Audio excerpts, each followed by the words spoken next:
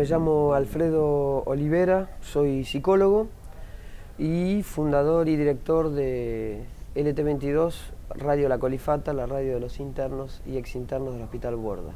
Radio La Colifata forma parte de, un proyecto más general, que es el de la Asociación Civil La Colifata Salud Mental y Comunicación, y es un intento de, abordar eh, medios de comunicación para generar lo que llamamos espacios en, salud.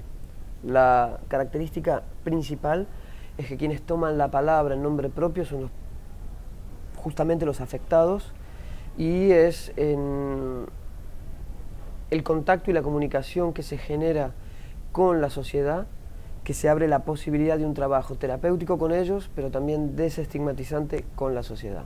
La Colifata nació el 3 de agosto del año 91, ya son casi 19 años, eh, surgió eh, frente a un estado de necesidad y carencia y se transformó en, en, potencia a partir de eh, poder transformar este estado de necesidad y carencia en posibilidad de comunicación.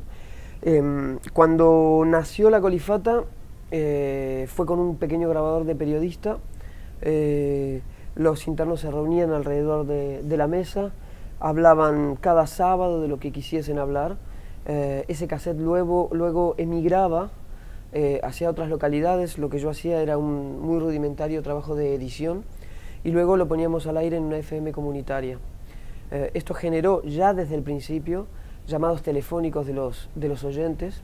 Lo que yo hacía era grabar estos llamados telefónicos y al sábado siguiente la reunión comenzaba en otra posición, ya no en posición de hablar, sino en posición de escuchar.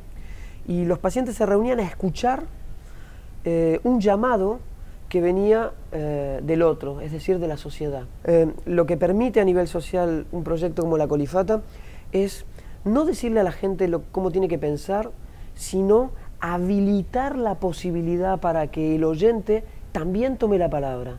Cuando el oyente toma la palabra, cuenta qué le pasa en ese contacto con el otro y nosotros podemos entonces escuchar las razones y las sin razones de nuestras prácticas sociales que reproducen eh, conductas de exclusión. Se reúnen alrededor de, un jardín, de un bosque, de un patio, eh, cerca de 80 personas, de las cuales eh, más de 45 son internos o personas que ya no están internadas pero que vienen a hacer radio.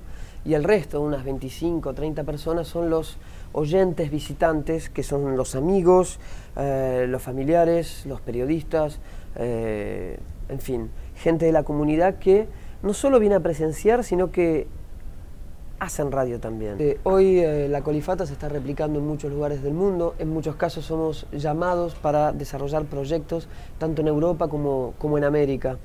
Eh, esto quiere decir que el problema del estigma social de la locura y el problema del padecimiento mental este, eh, necesitan seguir siendo abordados y pareciera que los medios pueden ser una herramienta útil.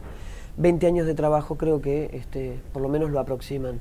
Em, yo imagino una colifata consolidada como proyecto, eh, tranquila desde el punto de vista económico, como para poder desarrollar eh, un costado que en este momento es uno de los que más me interesa, que tiene que ver con la investigación.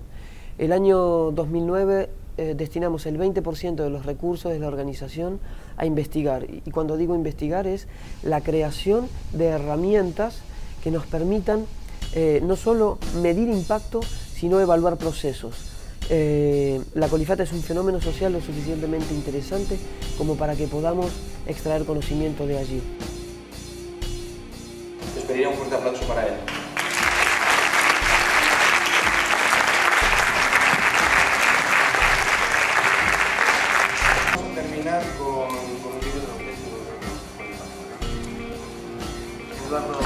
Mi nombre es Eduardo Codina, integrante de La Colifata. Para la gente que escucha esto, eh, tengo más de 17 años de integrante de Radio La Colifata y quiero contar en estos poco tiempo que dispongo eh, que mi aprendizaje sobre tecnologías data de muy, eh, muy chico,